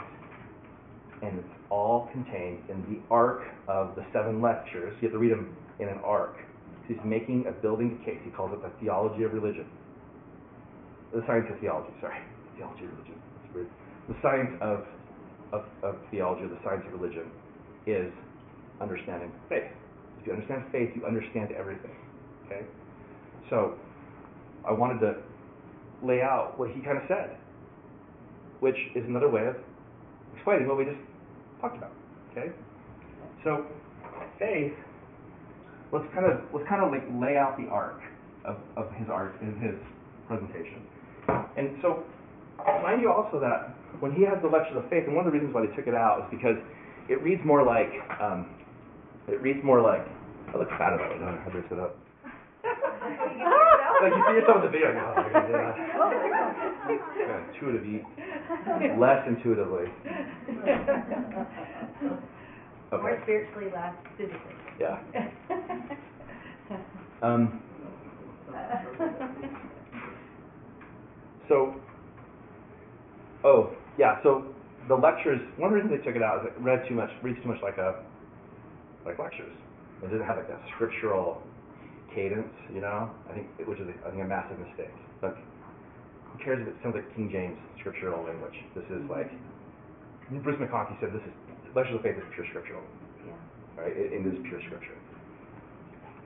So uh, it reads like a it reads like a um, an education like a, like a, textbook. And at the end, he has questions. You ask the questions, and he commits you to memorizing portions of it, because it was the text or one of the texts of the School of the Prophets. And think of the School of Prophets as sort of like the learning school, the mystery school of the temple. Like when you go to the temple to become educated, to learn, it's a, it's a learning institution. It's like the Lord's University. Think of Lectures of Faith as your primary text in the temple as you're learning your one of your textbook. You know. So, um, this isn't going to do anywhere near justice, but I kind of want to give you an idea of what he's talking, what he's saying, the argument he's making, or the principle he's teaching. And he starts with the question of what is faith, and you know he answers that using scripture in Hebrew, and he, you know, it's the principle of action of all intelligent beings, and he says it's also the principle of power of all intelligent. So everything he says from from doing manual work on the earth to um, creating worlds without end is all done on the principle of faith. All of creation is done on faith. Everything is done on principle of faith. So it's the principle of power and the principle of action in all intelligent beings, God included. God works on faith. Okay? And he explains how. So, principle of power and action. And then he makes this point that um, I'm I'm loosely going on the way he does it, so I just want to kind of draw some principles, okay? He makes this point that you can only faith is acting on something that's true. Okay? Faith is acting on something that is true that you don't know or possess yet. Okay? So let's, let's talk about how to think through that. Maybe. Maybe this is helpful, maybe it's not. But like if I am going to move over here and I'm going to I'm going to commit to the action of flipping a light switch, you know, like I do this. Um, I have faith in this action because I've witnessed the probability of that happening so many times, the cause and effect of that. I've seen it so many times that my faith in this is like at the 99% level, and I know that if it doesn't work, it's because there's a circuit problem or there's a light bulb problem. Okay, right? Right. So, I, but, but me doing this is still an act of faith because I am not 100% certain that that thing will happen. Okay? So, in order to have faith in God, or true faith, let's just call it true faith, you have to have faith in a true principle. So like Ether, he found the stone. Yeah, but, but, but zoom out of that a little bit. What happened before the, the stones? What was he? He was being tutored, He was told to go get them. told, yeah, he, this, he was a whole different thing with the stones, yeah. Well, it just it it shines. It's a good use case for our mm-hmm. principle. We talk about this whole thing. yeah. he's being told what to do. Right. He doesn't know. Go get stones, okay? Mm-hmm. Fashion them, purify them. Mm-hmm. Right? He's acting in faith on something because, and he has faith not because he knows what's going to happen, but because he knows that the voice telling him is telling him something truthful. So he's he's obtaining light. He's responding to light in faith, and the result of faith always end in knowledge. That's the result of true faith. True faith will always, always, always end up in knowledge. So, can true faith be a feeling, like you feel it in your heart, in your whole being? Yeah, as long as you're in a. As long as. Yes. As long as the feeling is being informed by light and not through self deception. And this is why we go back to justification all the time, because the way you get out of self deception is through the remission of sins. Does that make sense? You see why there's an order of operations here? This is why you get the remission of sins first. And then you have light, and then the feeling. Um, people people describe the Holy Ghost as a feeling. I think, well, it's okay because Moroni does too, so I'm not going to go after it too much. It, it is a feeling, but it also kind of depends on what we call feeling. The Holy Ghost is always one thing, and it's pure intelligence. Well, it's kind of like a burning in the bosom Yeah. feeling. Yeah. So a burning in the bosom could be because I am like a hormone fueled 17 year old kid, right? and I see the most beautiful girl I've ever seen in my life walk by, and I have a burning in the bosom. Or, a burning in the bosom is the, the ignition of the light of God in you. So, um, and it'll, anyways, I'm going to go down a rabbit hole. The point is, is always go back to this initial point. You go back always to justification. Because if you're in a state of remission, the Holy Ghost becomes the dominant activating aspect of your being. You know, when you're in a state of remission of sin, the Holy Ghost becomes the dominant, the dominant driver. I'm, I'm not undermining it all because you're exactly right. It is a feeling. It could be a feeling because, like, when you experience intelligence or light and truth, um, you're going to have a physiological response to it. And you might identify more with that physiological response. You also have to be careful because that physiological response could similarly be induced by something that's not the Holy Ghost. So the idea is is to like grow in your capacity to taste light. This is Alma 32, right? So he says, "How do I know it's a good seed? Behold, it, is, it tastes good. It, I taste light. Right? It is delicious unto me." And then he says, "Is your knowledge perfect in this thing?" And he says, "Yes." Right? And then he says, "Is your knowledge perfect?" And he says, "No." Because you see how like the obtaining of knowledge is the is the actively pursuing in faith, responding to light. You obtain knowledge in a thing, so it's now part of your greater faith structure because you now have a knowledge. Like I know what that light switch is going to do, but you're not done. You have to keep going because your knowledge is yet to be perfect in all things. Does that, does that make sense? Alma 32 is super instructive on this. Right. So I think it's interesting when you, you talk about even our Father in heaven acts and lives by the power of faith. And his whole purpose is to help the eternal life and progression of man. Yeah. And so isn't it amazing? Yes. That act of faith. Why? Because the power of free agency. He, even though he can see all things, and even though there is no time, and he knows the past, the present, and the future. And I think, wow, even knowing that, there's still the act of faith, even though. Okay, so let's talk about this. Okay. Um, can you hold? Do you want to go right now? Let me just interject real Okay. Quick. There has, faith has to be rooted in a trustworthy, perfect Yeah.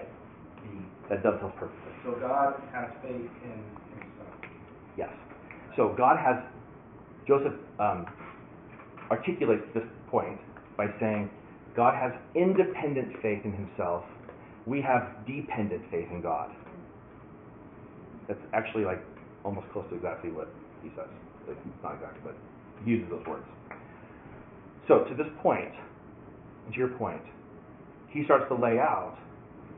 This is where you get um, a lot of you probably are familiar with this articulation from lectures where he says you have to have um, a true understanding of his character, attributes, perfections, right, to exercise faith. Well, let's let's go beyond that a little bit. I want to expand Joseph a little bit on this. It's not really expanding because he kind of gets to it he says it in a roundabout way. So when we say his attributes, his his character attributes, perfections, he Joseph also speaks to a number of things that God does perfectly that gives us reason to have faith in Him. And he goes through, he goes through like six things, and he says um, he's omniscient. You know, he knows all things. He's omnipresent. He's he's everywhere and aware of everything. Um, he's um, eternal, so um, there's no time. Uh, there's no time constraints, both forward and backward on him. Uh, he has perfect justice. So you don't have to have faith in somebody who's going to let things slide so to speak. Justice, that's another conversation to have, but justice is just as desirable as mercy. We we kind of did this like weird pendulum swinging to mercy, and everything's justice is the bad guy and mercy is the good guy. Nonsense. Justice is what you want. Mercy is how you get it. Okay. Let's zoom, should we zoom in on that for a second because this I- might be I like helpful. how explain that. Yeah, justice is what you want, mercy is how you get it. Grace is how you get it. Think of justice as not like I'm getting, think of justice as the structure of all existence. From this board and this house, That's an eternal law. Mm-hmm. it's the eternal existence. Yeah, It's yeah. God is justice. Anything that is structured or formed eternally in creation is a form of justice. It I heard it once said it, it is what makes the world feel right. It, it seems that there, it's in order and there is that structure. Yeah, yeah, like justice is like synonymous to this. Like justice is the order, justice is the thing. Like the world coming together and holding is justice. You standing here, you breathing is by justice. You're, That's law, right? it's by law, yeah. Law is justice. So everything is just according to the law that it lives. It's the square that measures, see? Yes. Yes. So justice is everything. Everything you want in your existence is justice. You having an eternal spouse that loves you and you love them, that is a state of justice. Okay? God loving you and embracing you and giving you all that He has is a state of justice. You're just with God. You're in existence with Him. It's a level of justice. Every kingdom that you want to live in is just a level of justice. And what mercy does is it restores you into something that you don't have anymore. Grace gives you something of just that you can't get yourself. So everything is about coming into justice. And people are like, justice sucks. Well, sorry, I say sucks.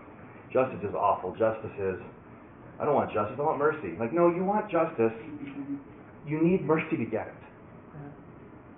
Does that make sense? Mm-hmm. That's what I think about. That's why you're justified when you have the remission of your sins. You're back into a true structure or a true communion with God. You want to be justified. You want God to be just. Does that make sense? Okay, so I, that primary reorientation is really helpful because when you understand who God is, God is the fulfillment of justice at every level of existence in eternity. This is why you can have faith in Him. God is light, and in Him is no darkness at all. That's why you can have faith in Him. There's no darkness in Him. There's no darkness in Him. That's why you can have perfect faith in God. Okay? So, here's the problem that we all run into. Um, where am I on time? Make sure I can wrap in the right way. Uh, It's eleven, we can eleven thirty, quarter to twelve, whatever. Okay. Um, so, the chances of you having a true perception of God is like 1%.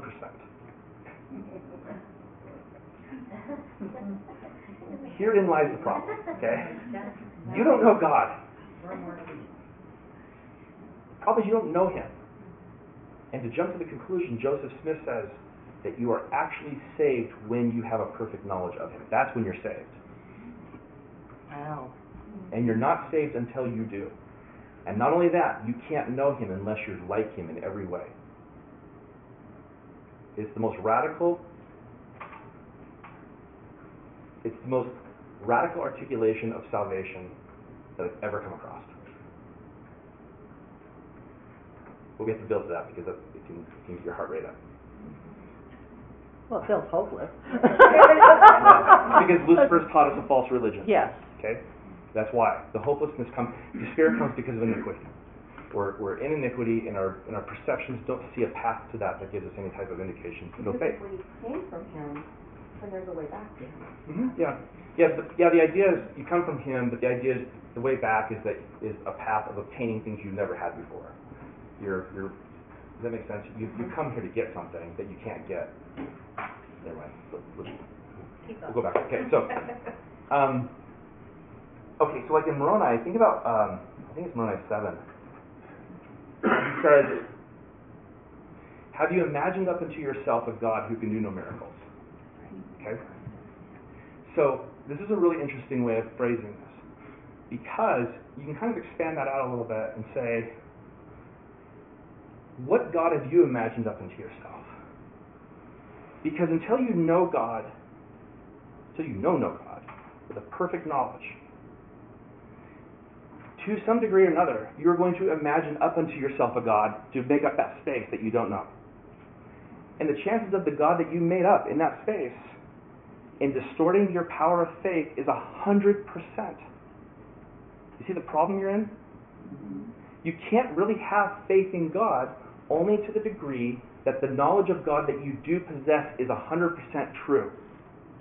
So we're in a pickle. You can't know God unless you have full faith. You can't exercise full faith unless you know Him. It's a chicken and egg problem. Right? You see what I'm saying? All of you sitting here, unless you've, I shouldn't say that. Maybe some of you know God, and you do. Maybe we can talk privately later. um, but unless you know God, you have to go through the process of Him incrementally revealing himself to you and you having faith in those increments until you come into a full knowledge of him. Okay? But the revelation has to come from him.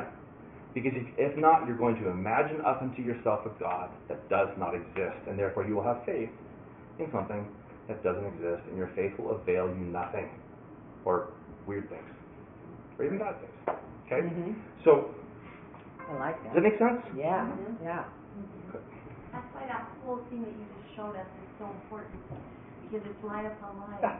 And we have to have those individual, like over and over themes, like, it's not, it's not a one-shot deal, and it, it, it's continual, and it's over and over until it comes to this point, like when Christ comes, we will know him because we will be like him.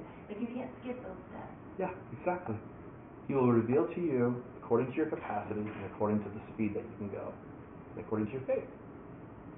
How willing are you to engage that path forthrightly and in faith and diligence? That's why, that's why you endure to the end. The endurance, the, the end is the knowledge of God. It's not death. That The en- Romans seven says that you'll have miracles if you exercise your faith. Yeah, it's the fruits that are coming out of it. Yeah. Yeah, exactly. That's a whole other conversation. So we're sacrificing to move on line upon line. Every time he gives you a commandment, there's going to be a sacrifice and obedience associated with it. You move in that mm-hmm. structure. You keep moving. This is grace. for- This is John. This is D&C 93. He moves grace to grace and grace for grace. And you too can have the record, the full record of John, if you'll do that same pattern. Christ did not receive a fullness of first, but he went from grace to grace to grace. When you say he gives you a commandment, is this, I'm sure it means both, what we're told in the church commandments and in the scriptures, but then our own individual revelations, is Yeah. what you're saying? Exactly. Okay. Why in 88 he says, then you will, then you will um, live by all words that proceed from the word of God. God will give you commandments.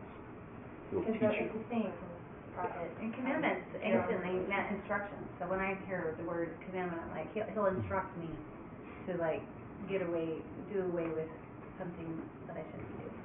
Mhm. And then I'll. Sacrifice. Get us to calling an election? Yeah. Mhm, Yeah, calling election, you're called when you're invited into the structure. You're elect when you're actively pursuing it. And uh, it's made sure or sealed when it's completely fulfilled, and you can't fall from it. And so you have calling and elect, ele- callings and elections made sure of many things.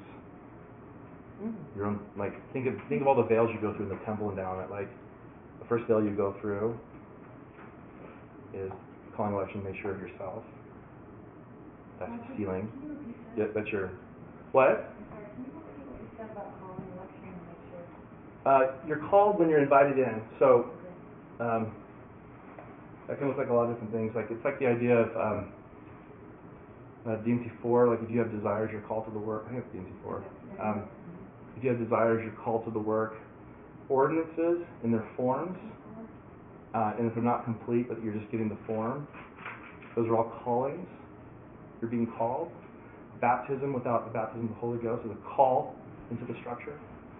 Um, if you're ordained, um, like priest ordinations, from apostolic ordinations to elder to priest, Aaronic priesthood ordinations, ordinations are always just a call.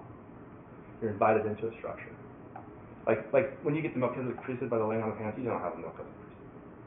You have the you have the right to officiate in the ordinances of the Melchizedek priesthood as a call into into a formalized outward structure, but it's an invitation into a structure in which you obtain through faith the full powers of the priesthood in which you're you're ordered. That makes sense. Yeah, you're elect or you're chosen when you are in the act of in your you're in the act of reception or possession of. So like when you're born again, you're chosen, you're elect. But it requires your faith, right? Yeah, you're always moving in faith, right? You're, you're nowhere. Can you expound just a little bit more when you said, um, endure to the end is the knowledge of God, not this. Yeah, so think of it, just think real like straightforwardly of the tree of life. Um, we get lots of answers to what the tree of life is because the tree of life represents a lot of different stuff. Um, tree of life is revel- revelation in the book of Revelation. It's um, you've overcome the world, you've overcome all things. It's the fullness of the love of God. As Lehi says, pure love of God. The calling election make sure. It's, it's, it's the va- it's the unveiling of Father, Mother, everything else is unveiled. And then you proceed. Uh, it's we're we're attuned to thinking of things very linearly. So many, this is a weird, I'm gonna throw this out there, but I don't wanna explore it very much. You're always kind of in a tree of life, there's trees of life and non trees of life. If you're always going through a tree of life, because a tree of life is just like an integration process. So when you're going through like the process of faith, you're receiving remission of your sins, it's the integration of your spirit to come into a singular, singular wholeness with God. Think of, you can think of everything as like a, I think of male and female portion, right? Yeah, like the yeah, the Kabbalistic tree of life. So everything has a male and female portion, and you're bringing them into a into a um, integration, into a unity. So your spirit, when you're born again and justified, you're bringing your spirit to a unity. So you're sanctified. Your spirit, that's justification with God. And then the next level, the tree of life, would be like your body and your spirit. Your body's like, some people say the body's like the female portion, whatever. Either way, the male, female, your body, your spirit come together. Once you do that, then you go to like your husband, wife come together, Zion, Godhood, da da da da da. So you're going through trees of life. So everything, one one way of thinking about it is like everything's an integration of the male female. In every in every manifestation, male female being an archetype beyond just uh, sexual. Does that make sense? It's a whole other conversation we have. So, enduring to the end is the knowledge of God, not death. And so you're trying to say through the tree of life, No. Endure to the end. You're enduring. You're enduring the the tree of life, the fullness of the tree of life. At the end is the tree of life. In, yeah, So it- Yeah. yeah. Yeah. So, um, so in the temple endowment, you know, you you're going through all these different callings and election make sure, so to speak. Um, can I give you a bunch of references? Yeah. Jason, do you want through 'em? Uh, Mosiah 25 and 26? Mosiah 26? No, Mosiah 25. Alma was senior, hearing from the heavens, voice of God saying, You have eternal life calling election of voice, conversing with the Lord through the veil. Think of that. Before you go through the veil, you converse with him through the veil. You don't see him, but you're conversing. Isaiah 25. Uh, conversing with the Lord through the veil. Think Ether 2 through 4. Brother Jared. Um, then you have the next the next sealing would be your marriage because you go women and men go through that in, that veil single and separately independent of each other. You're not married yet. In the, in the endowment, presentation endowment, you are not married. So you sit separately. You're not together. You go through that veil independently, retain those blessings, and then you're prepared to go into a sealing, which would be like the next level of endowment. And then you go to the next level of endowment, which is where you get the second anointing blessing, which is a whole other thing. So, to do this, is that, is that okay? Is that sufficient? Okay. Adam, so Joseph makes this really interesting point. and It's kind of an obvious point, but I thought it was really fascinating. He says, "What give, what gave the first family of God, Adam's family, faith? Fact that Adam knew God. Adam knows Him. He's walked with Him. He knows Him intimately. He knows Him in that total intimate way.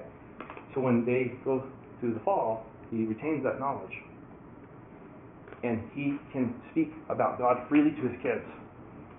He says, This is where faith is generated by hearing the word of testimony from those who know God. And they can they can they can germ or they can like plant a seed in you. Because they know him and they can tell you truthful things about him. Says, This is why all the ancient saints came into the presence of God. Like, you know, the early, like, you know, Adam's posterity up to Noah. It's, it's a, and he recites this in lectures, but it's a genealogy of those who went into the presence of God and who knew him. But they knew him because Adam knew him. And Adam could say, this is what he's like. Him a path. This is who he is. And then when they receive the word and the testimony of Adam, they can then start to exercise faith on that word. When they exercise faith, then they then they initiate their own process of knowing God in the same way that Adam did. This knowing, coming to the process of knowing God, is the process of salvation. That is salvation. And this is why Joseph says, uh, faith comes from hearing the testimony of apostles and prophets. And the way he uses the term apostle prophet is that apostle prophet is someone who knows God intimately in all the ways that you can, and then teaches you how to know Him too. So it comes by those who know Him.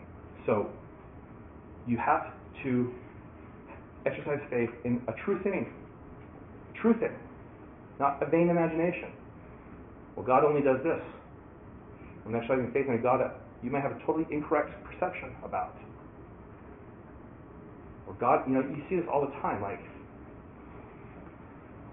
you see all these, like, you see all these different projections of who people think and groups think God is. Like, and you can have, it's kind of comical in a way when you, when you kind of look back. You have like different like different Christian denominations, and I'll throw ours in there too. Like, mm-hmm. God is the God is the so the footloose, come the footloose God, like the God of like stern. We're gonna we're gonna whip these kids into subjection. They can't dance. This very like pure puritanical, like controlling justice. You will burn. God to the hippie Jesus of like, yeah, we've got to love, and the worst sin is judgment. You know, like to this weird hippie Jesus, to like the God of like whatever path you find is the path for you. You do you, I'll do me, and that's God. Or the path of like God is um, A B C D. You do A, you do B, you do C, you do E. It goes to F, G, and da da da da da. It's it's it's um, very formulaic. To like, I make fun of the Mormon LDS version because my whole life I've heard like church videos of God talking in like this quasi British accent because that makes him holy. The Lord said, duh, duh, duh. You're like, what? Do you think he talks that way? Does he talk like in a British accent all the time? Like, you know, you get these different variations. The New Deseret Book one is kind of like the the really good-looking Jesus, like just hot, kind of. It's like weird. It's like like the 40-year-old Mormon housewife in Draper who like, wants that picture of Jesus in her house because it's like she wants her husband to look like that. I'm cynical, but it's like it drives me nuts. I can't even walk in there. It's like, ugh. Um, you project your vain imagination on God. I do, I do it. I have to stop all the time and say, the God I'm exercising faith in, is this the true God? Am I exercising it in a revelation He gave me, or am I exercising faith in, in a projection? Okay? So, um, this is why I like The Chosen so much. Because, and I think a lot of people feel this way too, like the way they depict Christ is like probably the most I've ever resonated with somebody. And, I, we were talking about this the other day. I think it's because he sort of like captures this um, this uh, feeling of being really present, right? So like like he's talking to somebody, and if in that moment of presence, he's to be kind of relaxed and approachable. He is. He's kind of funny sometimes, or he's really intense. Where he's inviting you into really hard things, where he's comforting you. Like it's a very present connection. I think it resonates with people because I think that's probably about the best. What's that? Relatable. Yeah, like he really relates to where you're at. But he's not like the hippie Jesus. Like, yeah, you're cool, go for it, you're good. And he's not like cracking on people. He does all that stuff, right? Anyways, um, so the idea here is is that in order to exercise faith, one of the best things you can do is is well, think about Adam. The first thing Adam's told is to get do sacrifices. So that's the that's the principle. That's the pattern that we're going to lay out. Adam does the sacrifices first, and then he gets further light and knowledge that he can then exercise faith on. That he waits the further light and knowledge comes by having faith through his sacrifices, then he can get more about know about God more. And in, in that process, he also has to get rid of the counterfeit that comes in. So it's like sacrifice, counterfeit, true thing, sacrifice, counterfeit, true thing, sacrifice, counterfeit, true thing, right? And then your iniquity comes from you projecting on what you think God is and trying to have faith in that thing, and that's usually just a projection of your own ego. This is why religions catastrophically fail always. Not that religion's bad, religion's good and bad. Religion is just the united structure of expressions of faith. But most faith is vain because most faith is in a vain God, our projection of collective imagination. Ours included. Because unless you're in Zion, you're doing it. Unless Christ is showing up in your congregation, you're doing it. Hmm. It doesn't invalidate what's going on, but it should give you pause to what's actually happening. Does that make sense? Mm-hmm. If you have Zion, he shows up and he ministers to you. If he's not showing up, it's because you're exercising faith in some degree, in some sort of projection of a vain imagination, collective or individual. Does that make sense? So true. So you have all these people like religion's crap. Religion does this, this, and this. Like yeah, but religion's also like Zion. Religion caused World War II. Religion also saved World War II. right? It's just collective faith. People people are like so like thin in their thinking when they go after religion. Well, I'm going to be spiritual, not religion. Oh yeah, you're you going to go get with a bunch of people who are also spiritual and do ritual? Well, there's your new there's your new religion, right? There's your new collective projection. Good luck escaping religion. We were talking about this last night. Go to a football game and you just join your next religion. Yeah. Right? Because maybe your God now is, is forget this esoteric stuff. I'm just going to like get rich and watch sports. and I'm going to go do all the pageantry of getting rich because I'm, I'm worshiping a new God. And it's a God in my own image. You see what I'm saying? You see what this is driving? So, is it a condemnation on all of us? Yeah. Yes. Everything. Unless Christ is showing up, you're in a state of, of somewhere acting in, in false faith structures. Do we do it? Yeah. Let's be honest about it. You can't, you can't repent unless you're honest about what you're doing. Go ahead. Reminds me of this, this uh, idea that the speed at which you can progress is proportional to the ability to see yourself as you really are and not run away from it. Say that again. That's so good. Yeah, the speed at, the speed at which you can progress is proportional, it is proportional to the ability to see yourself as you really are and not run away from it. That Um, sounds like me, my song. Yeah. Let's end with this point, okay? Yeah, that's good. because um, my wife is like um, really drawn out this principle in a really good way, like a really profound way for me and a lot of people, and and it's sort of like it's kind of like today's the only day that matters, and right now it's like the only thing that matters. It's kind of like this being present, and she uses the term bypassing, which I think is is a um, probably like a, a therapeutic or a psychol- psychological term maybe. So let's use her term that she uses bypassing. And in our efforts to exercise faith and pursue God, it is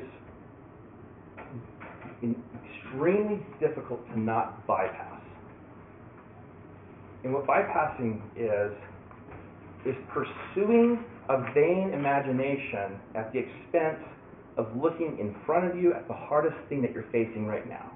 Is exactly what you said. And let me give you some examples. So like ev- all of us right now, if we were to like go into a private room and sit with ourselves in quietness and just really sit with yourself, you're gonna know and you might have to encounter a lot of faith, a lot of fear and distortion, and anxiety, and trauma, to the eating problems, and all of these things that we just are entangled with, right? And bypassing is trying to like ignore or escape the reality of what's there in front of you. So you you go after maybe spiritual things, and it's a way for you to ignore what's in front of you. And this is how we exercise faith, vain faith. You're exercising faith in a God that you like because that God keeps you from doing the hard thing in front of you. And this is why we go back to justification, because justification is the idea that you don't get to do that anymore. And that is, you have to sit in your fear and in your pain and in your trauma and in your healing and all the things that you're untangling. That is always the task at hand. It's always the task. To sit in that and to not bypass what's in front of you. So if you want to get your calling election made sure, stop bypassing. If you want to be born again, stop bypassing. If you want this blessing and that blessing and this and that, and I want to like, I want to prepare for the destructions coming, and I want to do this, stop bypassing. It's the only thing you have really to do.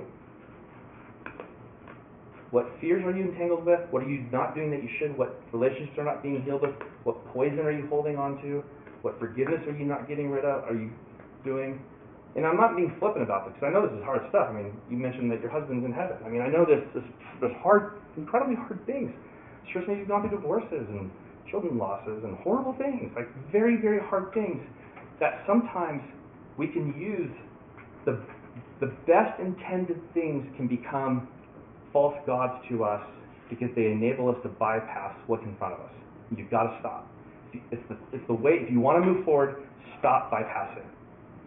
You have to look at what's right here with you right now and work on it and bring it to God and go through the healing or the repentance or whatever it is to get that into its space or release it or go through it. Okay, so this this is really what we wanted I wanted to drive at towards the end. So faith, use your faith, even though Joseph's giving you this grand arc, that like at the end of this thing, what makes you saved, this is radical, is that you actually know God and you know God because you are just like him. And until you're in that position, you're not saved. He says it. Don't think that you can get in the vehicle, and as long as I do my best 1% every day, that vehicle gives me the celestial kingdom. It's a false God. False thing. It's not. It doesn't. It doesn't work.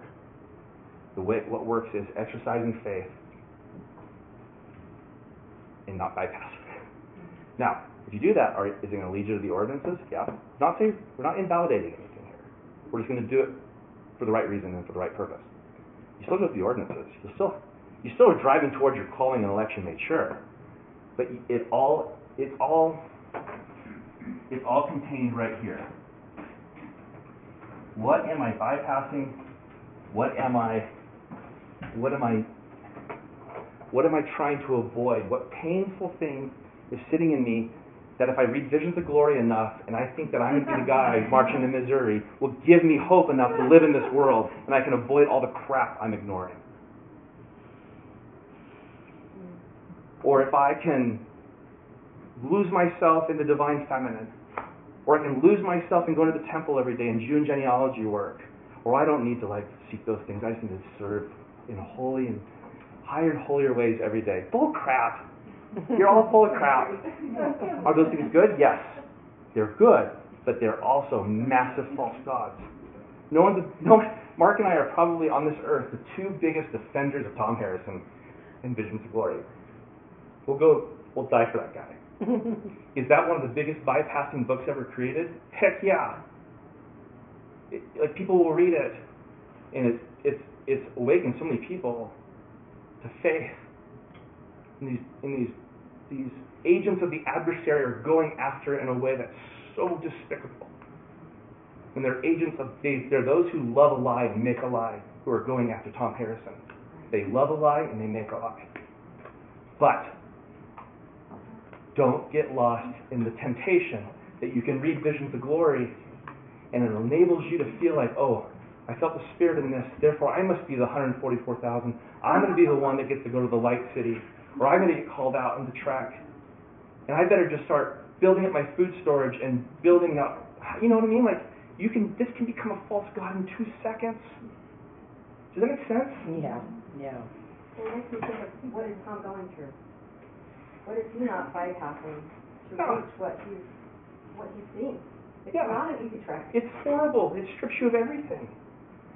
If Tom were sitting right here, I, I think in confidence that both Mark and I could say that Tom would say, "Yeah, like work on yourself in the sense of like repent." Like we've heard him say, people say, "Hey Tom, how do you how do you uh, um, prep for the for the end time?" And he's like, uh, "Get a pair of boots." get all the food stores the church asks you, like fulfill all the all the, the requests they tell you. It's like you're going to go give that to the church anyway. Like it's going to go to the center, and they're going to, you know, it's great. Do it, and then repent. There's no, there's nothing else you can do. You know, and like maybe the Lord is calling you to Missouri. I'm not discounting that. Maybe He's giving you a, a, a dream and say go to Missouri, and you do it. I'm not discounting that. But man, I know a lot of people who move to Missouri because it enables them to bypass the crap they're not contending with in front of them. Mm-hmm. Does that make sense? Yeah. And that's a part of the, you know, the apocalypse means it's the revelation of all things. All things come out of, that are, all things that are hidden are released. That's what the apocalypse means. That means you, it means anything in you that's not in that alignment or healed is going to be thrust into exposure. So, do you want to do it by your own free will and choice? Or do you want to do it because a mountain just landed on your house and your children? Right? Does that make sense? Mm-hmm. Can I just add what you're saying? I, I teach quite a bit, and one of the things I say to people as a result of my own experience, if you want to get close to God, tackle the problems in your life right now that are right in front of you in partnership with God and the Holy Ghost. That'll take you forward faster than anything else. You want your calling election made sure? Go to your room, sit in your pain, and ask, what is the biggest fear driver I'm contending with? Take radical responsibility. Yeah, take radical responsibility for it. The re- take the radical responsibility, of taking it, looking at, it, and bringing it to the Lord, and, and working through it, and not bypassing it. Because your spiritual journey can be the biggest vain project you ever do, and you think the whole time that you're like you're special. Right? Does that make sense? It's not to, I'm not invalidating vision of glory. It's just a really good case study. I'm not invalidating vision of sword. Vision of glory, I think, is phenomenal. It's a testimony Right. of somebody who experienced something through sacrifice. That guy sacrificed to bring that testimony forward. So, the sacrifices will be counted unto him. But you can't take that witness and create a false God out of it that enables you to bypass and, and, and activate your ego, right? That makes sense? What's that? Oh, yeah. uses every good thing. When, when Yeah. you taught Yeah. to read President Benson's Pride Talk every year. I was Right. like, oh my gosh, I've got to do that every year. Yeah. This. Pride, oh, Pride. Did you bring up Reed because Reed helped him write it? What's that? Why'd you bring? Oh, you said read it. Read. Oh, I thought you meant read taught- Benson. No, she taught Oh. and, and said Oh. that she, she makes sure to help her characters because she's sacrificing. You are sacrificing. Oh. If you read it, you'll always see something. Read it once a year, Yeah. that I think you said 1989. Reed Benson, who's his Reed, son, sorry. who helped him. Oh, oh, That's no, why I was like, oh, no, no, have Read the Pride Talk every year, President. I gotcha. Pride Talk. Okay, so all of this. I look. I, I don't want. The, the point of this is not to inval. I don't want to be one of those people like you don't need to know that for your salvation. Baloney. You need to know everything for your salvation. Like that's the definition of salvation is knowing everything. Hmm. So people are, anyway, I don't like to criticize them, but you know, you, you get in that weird false god structure. But there's false gods everywhere. That's why it's a straight and narrow path. And that straight and narrow path is a state of justification. Justification, one way of looking at that is, is living in your crap and facing it head on. Do you need a therapist? Then go get a therapist. Do you need like a gym trainer? Then go get one of those. Something helped me uh, years ago in thinking as a parent. Um, I would draw a line down this page and put justified by the Spirit or self-justified. And it, and whenever you can distinguish, is the Spirit justifying this so that I can be a just man, woman made perfect in Him? Or am I self-justified? Yeah, that's a great paradigm. And it's just very simple, like one line. It's a really, really, really good paradigm. I love that. That's a great. There's all these different ways of like kind of working through this question, right? So in conclusion, we have to manage what seem to be paradoxes. You have to have a hope and vision for your eternal possibilities. You you obtain the promises and the visions the Lord gives you, and they're real. It's not nonsense. You can have an eternal marriage. You can have love without end. You can have your calling and election made sure in this life. You can see Christ. Not only can you see Christ, you're under covenant to do it. It is salvation. It's not frosting on the cake. It's the cake. Okay? Mm-hmm. But it can be used as a bypass, and then it becomes a false religion. So your your true religion is one hair hair length hair width away from a false religion. You see that? Mm-hmm. Getting up and reading John Pontius books or Abraham Gileadi or Michael Rush or whoever you're into. Mm-hmm. You read Michael Rush like crazy. You think you man, you're really learning a lot, and you're just bypassing. Because it's easier to read Michael Rush or John Pontius or Russell M. Nelson or General Conference than it is to sit in your crap and face it. I'm like, I can't wait for General Conference. Why? Go do it tonight this morning. Go have your. I guarantee you, you will gain more if you go in your room and you sit and you just feel what's flowing through you. And you say, oh, that's a fear. Man, I've been holding that back for a long time. Let's bring that out. Let's draw it out. Let's give it to the Lord. That'll be better than the next 10 general conferences you watch. I, I'm not trying to disparage conference, just a little bit. Go ahead. Sorry, one more thing, um, I met somebody at the IAM conference, um, named Vinny. Vinny, Col- Vinny Tolman, yeah. Yeah, and I love how he treated the natural man as a spiritual person, that, that as long as we're putting that spiritual person in the driver's seat, and, uh, but, but he didn't disparage the ego.